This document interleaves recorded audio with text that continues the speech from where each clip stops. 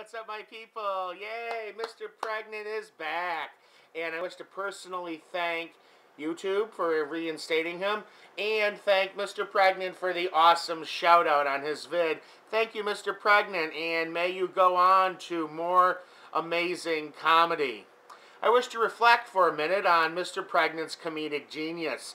I see the comedic genius of Mr. Pregnant stemming from a long line of absurdism, of absurdist literature, absurdist philosophy that has a very important role in, in Western literature.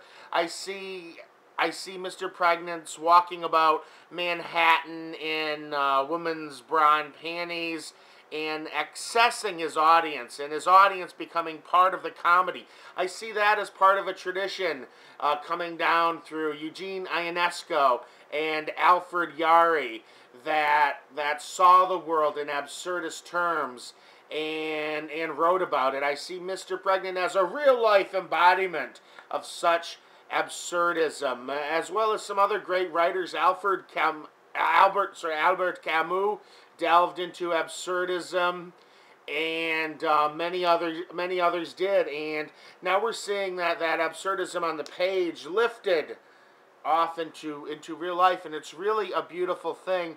I'm especially interested in how engaging Mr. Pregnant is with his audience. So much so in fact that the audience in many of his vids becomes part of the video and thus part of the comedy and part of the comedic experience. It's a really beautiful thing.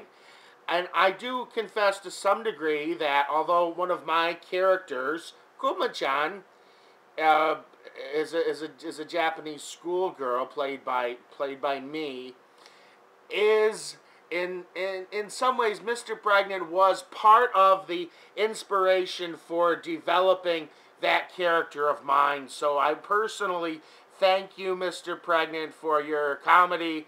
Thank you for making me laugh and thank you for inspiring me to inspiring me in my own work as as a comedian as as Bundang Bear the comedian. Although I have many roles on YouTube, comedy is certainly one of them. So, you know I love my people. And I love Mr. Pregnant. Go check him out.